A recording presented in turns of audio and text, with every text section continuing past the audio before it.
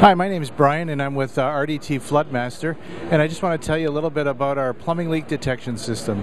It's a wireless system that uh, this blue valve here will go on where your water main is and it'll shut off the water automatically wirelessly through our wireless receiver.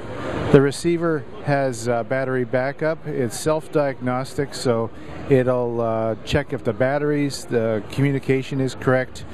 Um, and it's all done by these sensors that are basically like a little oversized hockey puck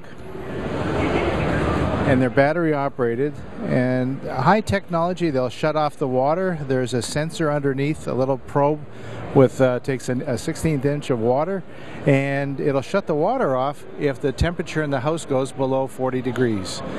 It, you can use it in anywhere where there's plumbing. You can use it in uh, residential commercial office buildings wherever there's water you can do it um, if you have any more questions, you can go to our website at uh, floodmaster.com. Thanks very much.